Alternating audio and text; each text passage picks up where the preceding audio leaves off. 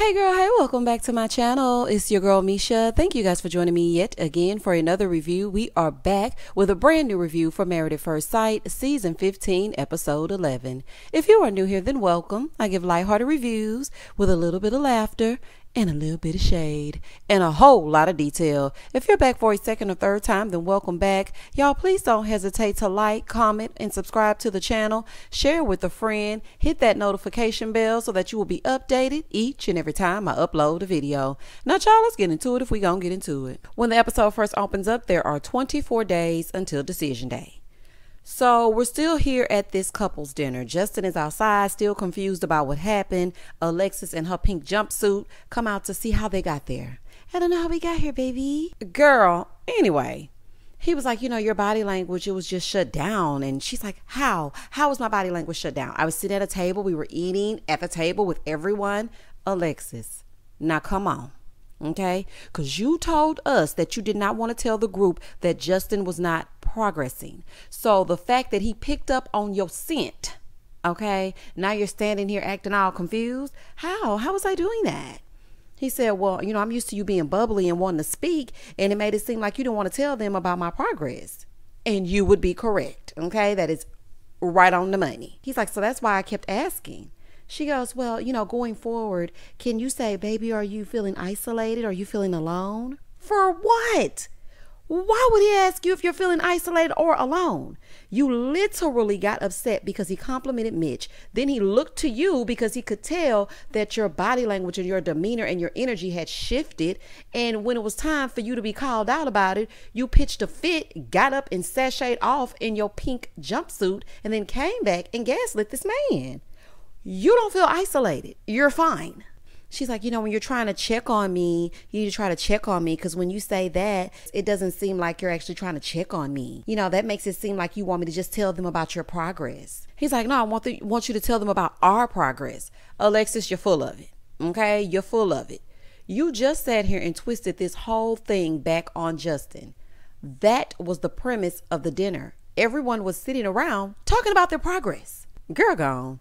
Moving forward. In the next scene, we see Kristen and Mitch's apartment, and all the ladies meet up there. And at Nate and Stacia's apartment, the men meet up. So at Kristen's apartment, they're asking about what's going on with Morgan. So she comes in and she's basically telling them that she spoke to Alexis and she was telling Alexis, you know, I feel like Ben is lying about something. I feel like he's keeping some things. I feel like you lying right now. Okay. Because that's not the way you explained it last episode. Last episode, you made it seem like Alexis heard on speakerphone and came running to you to tell you what all was doing. Now all of a sudden you sat with Alexis and y'all were chilling. So let me get this straight. You didn't know. So you just told on yourself, honey. I'm about to break it down for y'all. Honey, y'all get close you didn't know whether or not something was up with Ben, but you went and talked to Alexis about Ben potentially being a liar. So, doesn't that make you guilty of the same thing that you're accusing Ben of doing? Because if Alexis didn't give you the information and you went to her because you were hanging out and said you felt some type of way, weren't you speaking negatively about your husband? Ah, okay. Moving forward.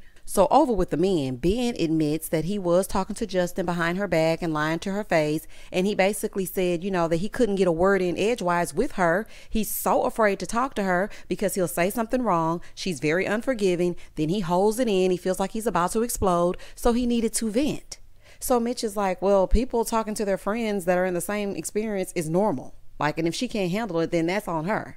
I know that's right, honey. Not Mitch with the common sense. So all the men are like, well, what's wrong with talking to friends? Honey, everybody's confused. That's what we want to know. What is the problem with him talking to a friend? We know you probably don't have many, honey, so it's not very many people that want to talk to you in that stank attitude. But for Ben, people actually want to hear him. So maybe there's that. Moving forward.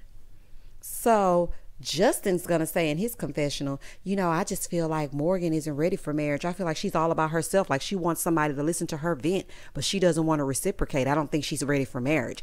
And I don't think you and Alexis are ready for marriage either. And I don't like how the two of you sat idly by while the group got involved in this group therapy session to try to push these two back together when clearly they need to be so far apart, it's ridiculous. As a matter of fact, they need to go back to being strangers.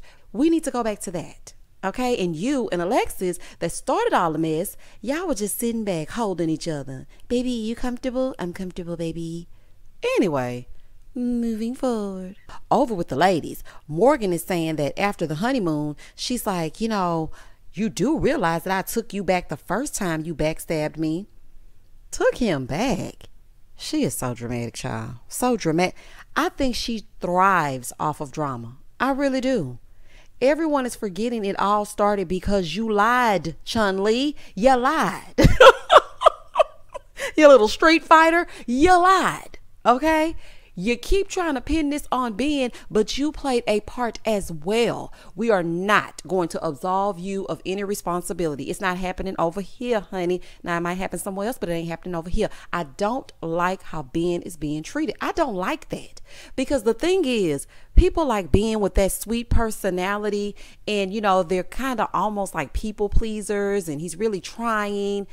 That really ticks me off because I don't like bullies. And I feel like in this setting and in this moment, Morgan is bullying Ben. And child, the whole time she talking, Stacia looking at her like, mm, girl, please. I'm just waiting to figure out which one of y'all gonna say something. But honey, it's gonna go down in just a minute. So she was like, you know, so to find out that he was still, you know, saying things behind my back, it just really made me mad. And, you know, I feel like it's been all about Ben this entire time. I say, what now? Morgan, it has always been about you and your drama. So what are you talking about? So she's like, Yeah, he keeps changing whenever he gets in front of different people. So I don't really know who he is. And we don't really know who you are. Okay. You showed up in some scrubs, but what does that mean? Okay. I ain't heard nobody validate that you're a nurse yet. Oh, or maybe that's just me. So Lindy in her confessional, she being all judgmental, talking about, well, I mean, bro, get it together. You need to figure it out. Lindy, honey, sweep around your own front porch first, okay? Because it looks like you and Miguel are going to fall the hell apart a little bit later. So she tells them that they're separated. She moved out, and Stacia wants to know if she, if he's fighting for it. She was like, "Is he fighting? Is he saying that's okay? Do your thing? Like, what is he saying?" She's like, "I couldn't tell you." She says, "So he's not reaching out to you at all?" She's like, "No, it's radio silence." And why is that, Morgan? Why is that? Because every time he speaks, you bite his head off. She's like, I have to defend myself at this point because God knows what he's over there saying. He's not saying anything, he's saying nothing. Okay. Even though you try to make us believe that he's always saying nasty things about you, he's actually said not one negative thing about you since he's been sitting in the presence of the other men. But I know that's hard for you to believe because you want to make being the villain. Okay. When both of you are responsible for the foolishness. But the real villain in all of this will be Alexis. Honey, Alexis is getting rid of people left and right. First Maya, now Ben and Morgan's marriage. Alexis is on a roll, honey. You're over here telling and talking. So I'm just trying to figure out is that allowed or is it not allowed? So can Ben not do it or like how is it working? Okay, I just need to know how it's working. So Kristen was like, you know what? Let's ride out. Let's go where the guys are. I mean, I'll lead the pack. I'll go with you if you want to. So everybody rises up because they're about to go over there and see what's all doing. So they're to get into it as they get into it. Meanwhile, Ben is like, yeah, I mean, I couldn't eat, I couldn't sleep, I lost at least seven pounds. Next thing you know, Stacia turns the key in the hole. Hey, babe. So they go over to Stacia's and Nate apartment to get to the bottom of it. So Miguel was like, so what was your breaking point? Okay, give me your side of the story. She was like, well, he broke my trust the first time on the honeymoon and he was so big on lies, you know, even little white lies. He didn't want us to tell lies. But then I found out that he's been lying to my face daily. So Mitch is like, What's the daily lie? now, what's the daily lie, honey? So she's like, I mean, he was going to Justin, I mean, almost daily. So she goes, Yeah, I mean, he could have said to me, Listen, I'm going to Justin. I'm frustrated. I vented, and here's what I said. Morgan, get real. Okay? When people vent to their friends, they don't come back and give you the transcript of what they said. They don't do that. If I go and vent, when I was with that ex, I used to call my BFF all the time and I would vent to her. And I damn sure was not going back to that ex and saying, listen, honey, today I called you a douchebag. I said I wanted a divorce and I hope that you caught on fire. I just wanted you to know. Like, people don't do that. So he needs to ask for your permission before he speaks to anyone. Like, this is just, uh, okay, this is crazy. Miguel, I guess you're sitting in for the experts, honey. Shout out to you. So she's like, you know, it's never I hurt you. I apologize. Morgan, so you gonna just sit here and lie for the sake of lying? That man has apologized to you over and over and over and took full accountability for lying to you.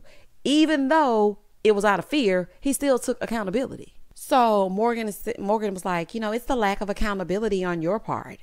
So Miguel was like, Ben, you know, is that fair? Do you think so? And he said, Yeah, I mean, yeah. So Nate said, uh, Okay, we're all being politically correct here, but uh, what's up with the hostility? I know that's right, honey. Call out, Nate, honey. Nate said, What's up, homie? Listen, Nate. I know last I know last review I called you a day trading stranger, honey, but you might be my kind of people, honey. Cause let me tell you something. In the midst of it all, you called it out. You ain't afraid of no Muay Thai kickboxing Morgan, honey. You let it you let it be known. Girl, why are you always so hostile? What is wrong with you? Okay, like girl, whatever. So he said, you know, every time I see Ben, he's very calm, cool, and collected, but all I see from you is being pissed. And in the confessional, he said, I feel like Morgan is one of those people that are just never satisfied. No matter what Ben does, she won't believe him. And he needs to speak up and not let her overpower him. Nate, I totally agree. You know, it's ironic because she has her own issues, but she wants perfection from Ben. I'm just not understanding that. But side note, Morgan, you have beautiful skin. But I don't like the way you're acting. Okay, I don't like how you're acting, how you're acting, girl. So Nate was like, Well, you know, it's an abnormal experience. She's like, Yeah, and since it's abnormal, you know, I need him on my side to have my back. Your back with what? Oh, okay. So you wanted him to co sign the lie that you initially told in order to present a united front. Is that what's happening? So she's like, you know, it's betrayal. Of all people, I would have thought that he would be the one to have my back. So then Ben pipes up and he's like, You know, I take full responsibility. I came into this naive. You know, they asked me if I could handle someone with a strong personality and not a part of my culture. And I said, Yeah, that's easy. But the truth is, it's not easy. You know, I have past traumas. So how can I make someone else happy when I'm not happy with myself? And then he apologized and he said he signed up for therapy. Ben, let me tell you something right now. Yes, you may need therapy, honey. And that's for some issues outside of what is happening with this woman that is making you go crazy, honey. She's manipulating you right now. And it's giving psychological abuse. Okay. It's giving very much psychological abuse. You did not do anything to Morgan that was the end all be all. Morgan is something, baby. I don't know what she is, honey. But she done did such a number on Ben, he thinks he needs to get an exorcist. This is crazy. Baby, this is crazy, honey. Oh, child, somebody call the exorcist. This is so intense. What is this heifer hiding that she needs to isolate Ben? I would hate to suggest a divorce, but in this case, honey, today should have been your decision day. You know what? Actually, when she threw them flowers on the on the ground, that should have been your decision day. But this needs to be over ASAP because this could easily turn into emotional and psychological abuse. She's using loaded words like betrayal. Ma'am, if you didn't start lying first, you wouldn't be so paranoid. Now you think he's always talking about you because you lied.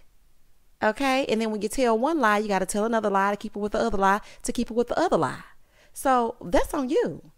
Moving forward, Ben and Morgan. Sure. Round two. So Morgan walked in looking all sleepy, and they're meeting with Dr. Pepper. And so, you know, Dr. Pepper said she wanted to see what was happening with them because she's been hearing some things. And um, she feels like, you know, she just wants to get to the bottom of it. So Morgan is like, you know, I really wanted to work it out, but I'm just still uncomfortable. I just really can't trust Ben.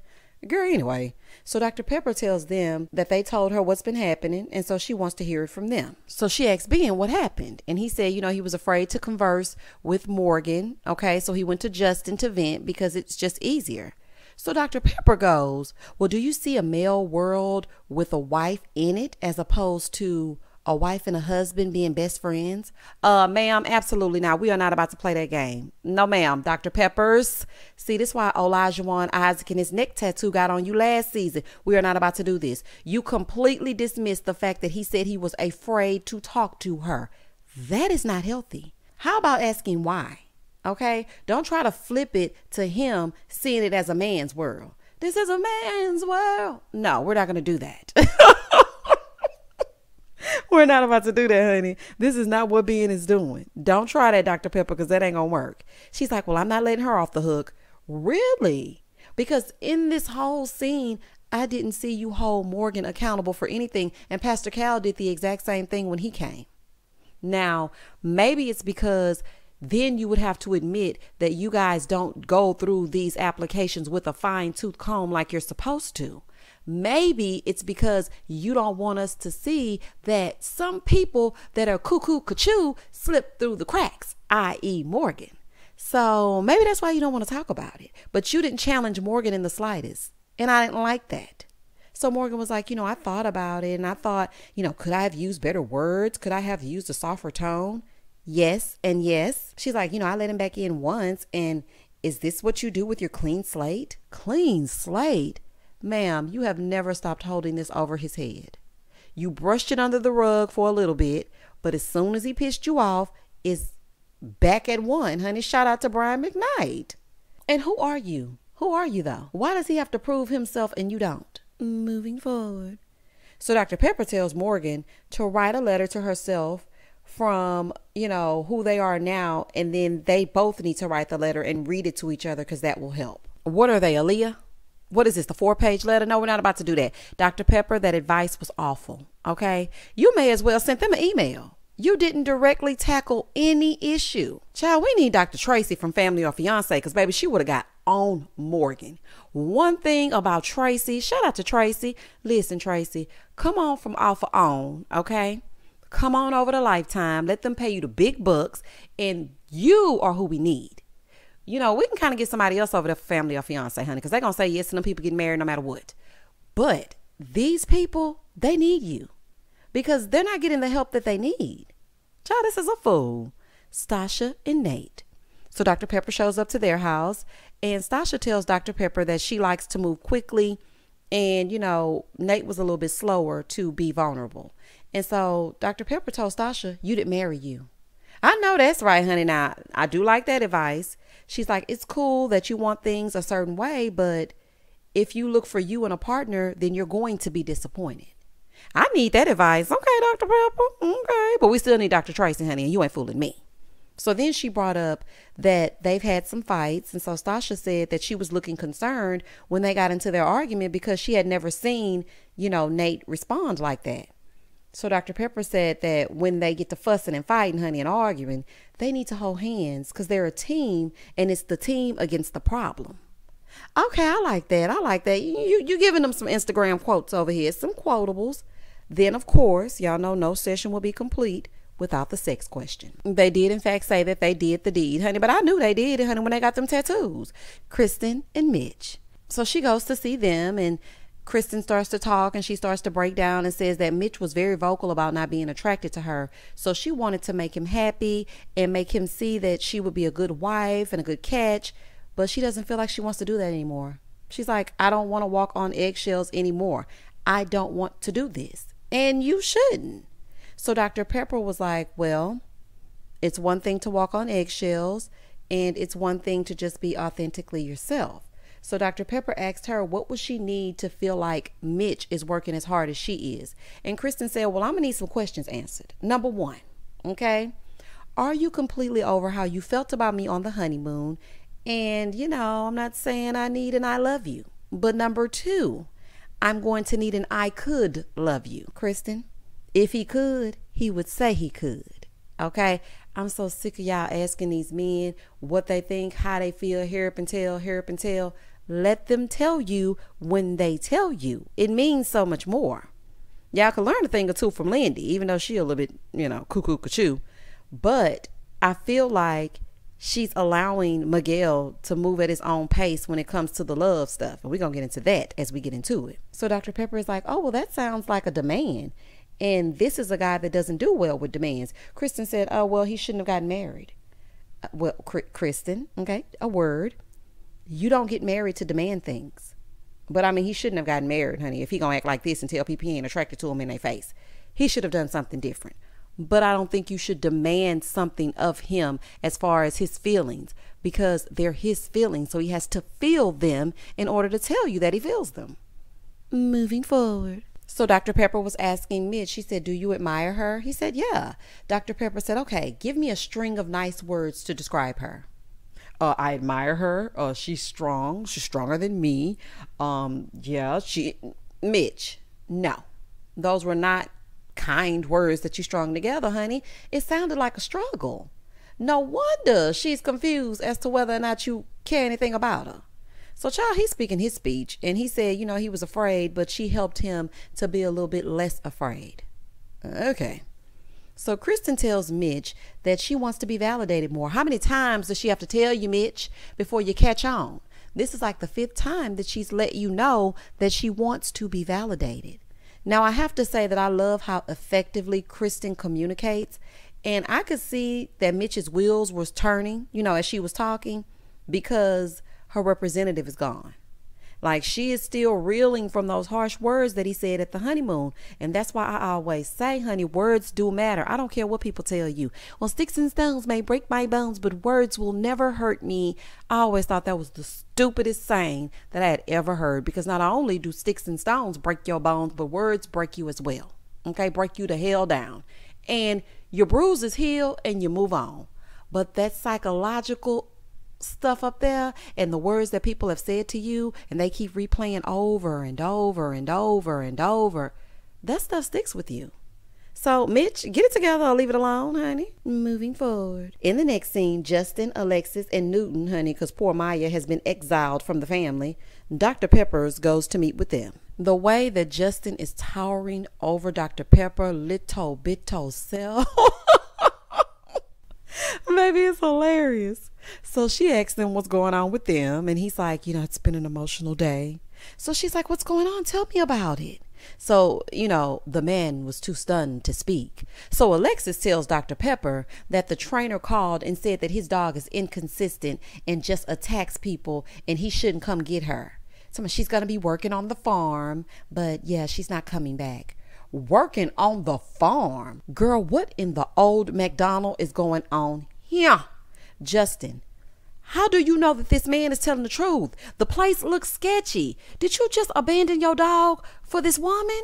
You do know that Alexis is playing you like a fiddle. And even if she says yes on decision day, you too will not make it because she does one thing in your face and she says another thing in those confessionals. Justin, I know you didn't leave that dog. I know you didn't leave that dog. He left that dog, y'all. He left that dog. He's like, well, you know, she was my first baby. I had her seven years. And I mean, you know, I needed to know she was in a great place. Dr. Pepper was like, sounds like she's in a wonderful place. Dr. Pepper, did you see that place? That man had on he had on Michael Myers shoes. them shoes. Them shoes, when they showed them shoes, honey, those shoes screamed Halloween H2O. I don't like it. Dr. Pepper, that is not a great place. Alexis, how much did you pay that trainer to make Maya stay gone? Okay, and you ain't fooling me, allegedly. Because if he's attacking, then he don't need to stay there. Child, this is a whole fool. But all jokes aside, y'all, I don't like how Justin just agreed to give his dog up, and that's that. It reminds me of when people blend families and the stepmom comes in and doesn't want anything to do with the kids. So the dad treats the kids, you know, any old kind of way because the stepmom is uncomfortable. And that's what this is reminding me of. And I don't like that. Moving forward. So Alexis tells Dr. Pepper that they had a fresh start because after their fight, she said, you know, she didn't want to hurt anymore. So they decided to start over. So Dr. Pepper was like, well, you know, that's not all there is to it. So then Justin starts speaking his speech. He's like, you know, even though, you know, we may go through things, I have to understand that at the end of the day, even though she has a tough exterior, she's still sensitive. Alexis is like, no, I'm not sensitive. No. So Dr. Pepper wants to know why she doesn't like to be called sensitive. And she said it's just the way that she was raised. She never saw her mom, mom cry like ever. She was raised to not show her cards. And even though she knows tears don't equal weak, that's how she sees tears. Oh, okay. So you think Justin is weak in essence, honey, because all he do is cry. Okay. So she was like, you know, being vulnerable is dangerous because it shows everything and people can just play you however. Now, I have to agree with her with that because I've been in spaces where I feel like, you know, I don't want to just get vulnerable, honey, because then as soon as I let my guard down and you're going to try to pull a stunt and then it's going to be some foolishness. But at the same time, sometimes you have to figure out when is the right time. But that's something that people struggle with very often, especially in our community, you know, it's just like we got to be strong and strong black woman and, you know, make sure you take care of everything. Don't let them see you sweat. Don't be weak. Don't let a man see you cry. I don't subscribe to that. Okay. I don't subscribe to that. People always tell me that I wear my emotions on my sleeve. Now, once I got older and saw how people played me because of that, then I started to feel like, okay, listen, I can't just be vulnerable with everybody because people be really tripping. So I understand where Alexis is coming from with that. So Dr. Pepper told her that it's their vulnerability that makes them strong. And so she wants her to know that being sensitive and vulnerable is okay. 21 days until decision day. So the couples are showing their childhood stomping grounds. They also wrote a letter to their younger selves, Mitch and Kristen with the Y. So they go to play softball, and she said that she wanted to show Mitch her sporty side. Okay, Sporty Spice. Uh, side note, these pants are a no, Kristen. Okay, Kristen, you my boo. But those pants give SpongeBob in the back. I don't like them pants. I don't like them pants, Kristen. I can see Kristen being a softball girl, though. I really can. I can see her playing softball. So they're throwing the ball, and Mitch definitely doesn't exude athleticism. Okay, it's not his strong suit. That's probably why he turned to the environment and whatnot. So Kristen and Mitch, they sit down, and she said, you know, the field brought up emotions for her because she had to do things perfect. She couldn't strike out. You know, if she did, it was always an issue. You know, she would have to hear about it in the car on the way home. And it wasn't her dad, it was mostly her mom even with her grades, she wanted things to be perfect, which is probably why she is the way that she is. So Mitch was like, Well, for me, it was the exact opposite. Okay. There was no structure. I didn't play sports, and there was large room for error. Okay. Well, that's why that place was so nasty. Because growing up, you probably was never told to clean up. Child, that's what's going on. Everything is starting to make sense. That's also probably the reason he doesn't like to be told what to do. He's used to doing what he wants when he wants. And then Kristen came in and he had to adhere to a little bit of structure. And that's why he was falling apart when she asked him to put on that shirt. It's given arrested development. Moving forward. Lindy and Miguel. I forgot all about them, child, but we're here. Dr. Pepper is visiting with them, and Lindy tells her that she's still learning, you know, how not to be so defensive. You know, small things that Miguel may suggest to her, she can see herself starting to get defensive, and she's trying to fight that. So she was like, you know, I'm insecure about being a wife because I want to make sure that I'm doing it right. And Miguel was like, babe, you're killing it. Oh, well, that was nice, Miguel. So Dr. Pepper asked if they've said, I love you. So they just looking. And she was like, no. So Dr. Pepper said, Well, what I do know about love is that when you say it, you'll feel it, and then you'll look back 10 years from now and realize that what you're feeling now was nothing compared to what you felt when you said it because love grows. Dr. Pepper isn't asking any questions to get the real, not none. What about the insurance outburst and the name change? Are we going to touch on that? What about, you know, her asking for grace when her crazy comes out? Is Miguel being his authentic self? Okay, is he allowed to express himself completely without fear of Lindy being upset? Dr. Pepper, where are you? Alexis and Justin. Well, what are y'all wearing? Okay, before we even get started on y'all segment, honey, what do y'all have on? Justin is showing her where he grew up, right? With his brother raising him. And Justin said that, you know, he was pretty sheltered before moving there and he had never left his neighborhood in Alabama. So he told her that him and his brother they shared a king size bed, and she's like, "So how old were you?" He said, "Well, the brother was 19 and he was 13, and he would discipline him and spank him." Spank him and he 19 and you 13 and you towering over him? How was that working? She's like, So a 19 year old raising a 13 year old? Alexis is ready to run. I feel like she questions him to get everything she needs to get. So on decision day, she can write down the pros and the cons, and it's going to be all the cons, honey. But my question is this why was Justin's brother raising him? Where was his mom? Like, what led her to send him to the brother? So he said, you know, his brother was strict, but always told him to just figure things out. Just figure it out. If you don't know it, figure it out.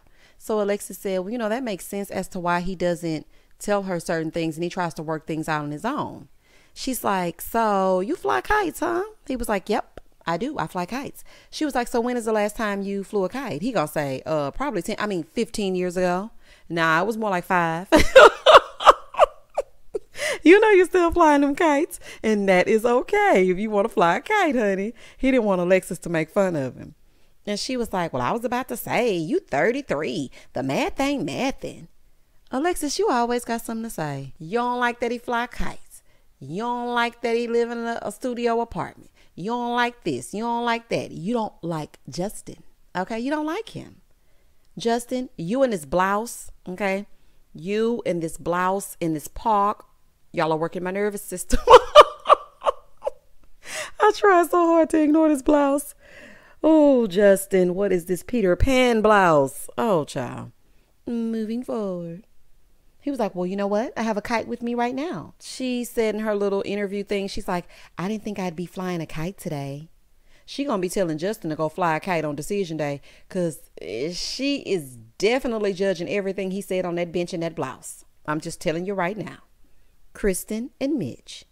He has some pictures of his childhood and, you know, he's hoping that sharing these things with Kristen will give her a little insight into who he actually is. So, you know, he's sharing the pictures and they're of his dad, and he's telling her stories about his dad. And he tells us that his dad died in 2014. And, you know, he's sad because he didn't get to tell his dad how proud of him he was. And he feels like his dad would have definitely liked Kristen. So he starts to tell Kristen how things changed for him after his dad left. He started causing trouble, being more frustrated. She wishes that she knew all of this before that because she may not have been so angry. Uh, yeah, I hear you, Kristen. But uh, at the same time, honey, you can't just be going on national TV and embarrassing me saying you ain't attracted to me. I would still be pissed. Yes, this gave me a little bit more insight into who Mitch was, and I felt like he was being very vulnerable and really letting Kristen in this entire episode. I really do. But uh I would have still been mad. Stacia and Nate. So she's reading her letter to her younger self, and Nate was like, Okay, okay, I see. Bars. I'm starting to really like these two together. So then he reads his letter, and baby Nate was giving himself, uh, baby, all the judge. Do you hear me? He was like, Yeah, I just want you to know that you're smarter than the smartest kid in every grade. I know that's right. So they started talking about how they were at school, and Stacia said that she would eat lunch alone. She was really, you know, just kind of a loner. And he was saying that he really never fit in with the people at his school either. So he was kind of like the same way. And, you know, they bonded over that. Lindy and Miguel. So they go swing dancing. Honey, at least it isn't salsa because we all know that that's going to be a disaster. Every single season when they go salsa dancing, it's a fool. So they sit down after they get to get through one two stepping, and she starts to tell him that she wasn't allowed to dance growing up. She's like, you know, we couldn't eat shellfish, we couldn't dance, and I'm not really sure why we couldn't dance. We just couldn't dance. But you know, now she's dancing, drinking, eating sushi, honey, doing everything she want to do. I would have never survived. And I do mean not never, okay? So then she read her letter to her younger self and they talked about it. And, you know, I can see that now Lindy is breaking out of her shell because she was so sheltered with her religion. And the fact that Miguel embraces her and he really listens to her, it could be a good thing for Lindy. But I got my good eye on her, okay? Mitch and Kristen. So they go to visit his dad's tombstone. And he said that he wished he could have told his dad how proud of him he was and, you know, him and Kristen, they're sitting there and they're sharing things together. And he told Kristen that the dad would really liked would have really liked her. And Mitch is really warming up to his marriage. Okay. Sharing that with Kristen was really major.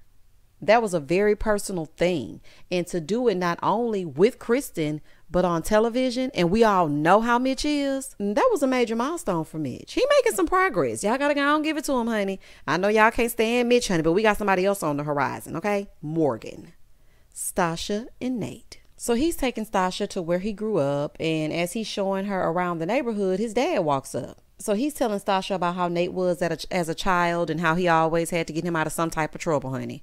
Because Nate was doing something he had no business doing. So Stacia's like, uh, Dad, if I may. Maybe Stacia say, I am the daughter-in-law, okay? So she was like, So how did you do it? I mean, being a single dad, like how did you do it? And he basically said, you know, people used to commend him and he started to get teary eyed.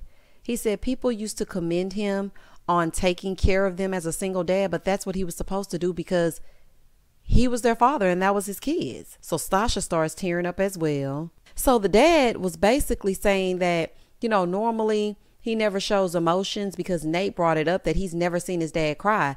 But I am kind of happy that he was able to be vulnerable in that moment because that'll allow Nate to see, listen, even my tough dad has shed a tear or two. So if it comes down to me, then I should be able to do it as well.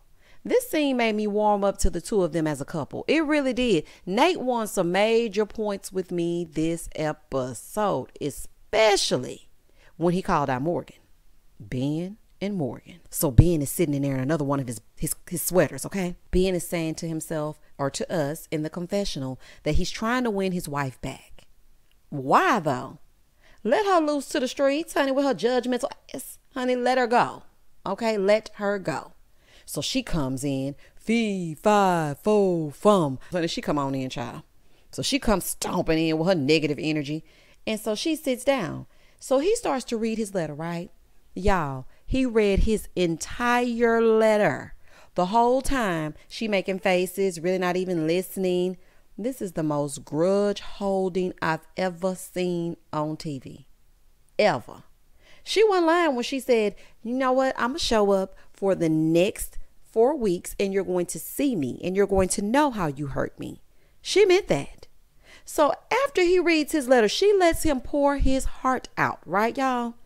After he reads his letter, she gonna say, I'm not comfortable reading my letter because every time I let my guard down and every time I tell you something personal, you run back and tell the guy, so I just can't really trust you. Okay, I'm over Morgan. Morgan, you give pathetic.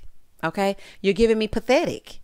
I am just done with you. What are you even talking about? They will hear whatever it is on that letter anyway when they watch it back. Y'all might need to make sure that Morgan ain't a fugitive, honey. Because I mean, I have never seen nobody so secretive in my all my life. Girl, what are you saying? So you came for no reason.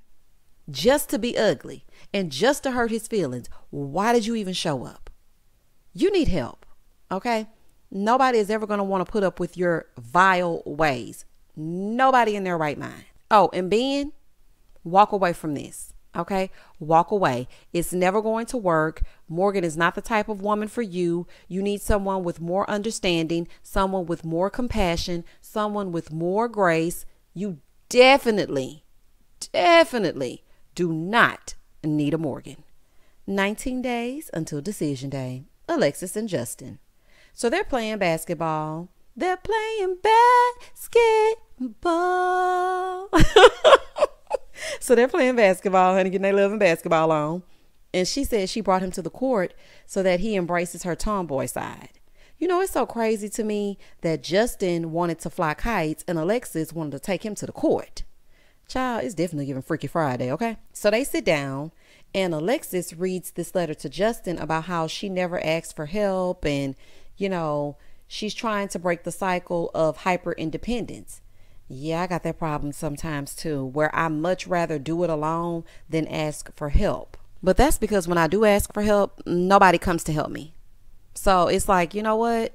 I might as well just do it myself because it's like people always act like they're busy whenever I ask for something. So now I just do it on my own. Miguel and Lindy. So they're learning more about Miguel's culture, and he starts to tell, you know, tell her that he struggled because he wasn't white enough for some of his peers, and it was just really a struggle trying to find his identity. And that explains why his sister speaks that way. I think she was trying to, you know, fit in. So then he reads his letter to his younger self. And so after he reads the letter, then he tells her, I love you. Do you? Do you love her? did Dr. Pepper put that in your head? So, of course, you know she said it back, honey. So they love each other. Okay. He said it was the easiest thing that he's ever done, falling in love with Lindy.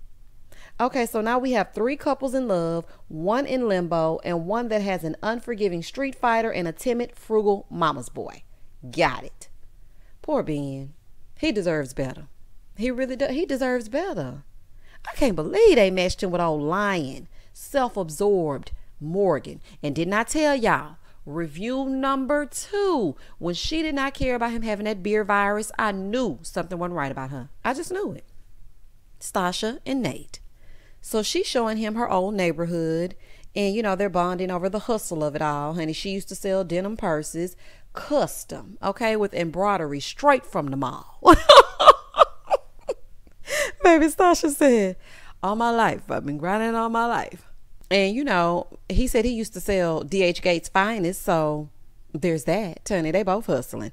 And Nate said, you know, he always wanted someone that he could be a power couple with. And he loves the hustle in Stacia. She's an entrepreneur through and through, and that's the type of woman that he wants. So then they went to her childhood friend's home, and it's the home that she lived at with her friend Deanna. She finished high school from there because, you know, she didn't want to have to move when she had gotten to know these girls for so many years, and the family is the Mentos. So Mr. Mento tells the story about Stacia being dressed up for a date, right? And being ready to run out the house when the guy honked the horn. He was like, But I stopped her. And I told her that he needs to come in and not honk the horn for her. I wish more young girls had a Mr. Mento because it teaches you to respect yourself as a lady. Like, shout out to him for stepping in as a father figure for Stacia. It is so important for both boys and girls to have a positive male figure in their lives. I need a Mr. Mento, okay? Because my dad didn't tell me nothing about running out, honey. Running out, running in, nothing. I basically learned everything on my own, which is probably why I had such tumultuous relationships. But child, that's a story time for another day. Mitch and Kristen. So they're sitting on the beach and they each read their letters. And Mitch's was very long. However, it did touch me a little bit. It really did. He really said, he said he never really fit in and he probably has some insecurities, I'm guessing, still about being accepted. You know what? I feel like he may have been pushing Kristen away because he was afraid she might push him away first. Because let's just think about it.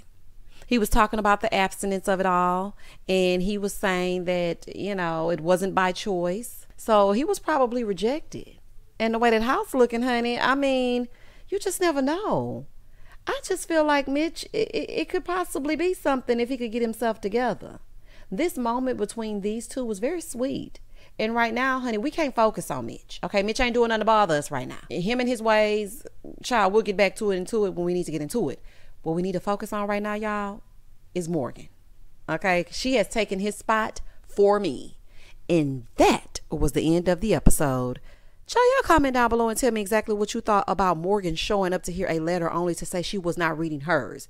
What did you think about the ambush in the group therapy session while Alexis and Justin just sat idly by? What did you think about Ben saying he needed to exorcise his demons because Morgan has manipulated him into thinking he's all the problem? Child, this episode right here was an entire fool.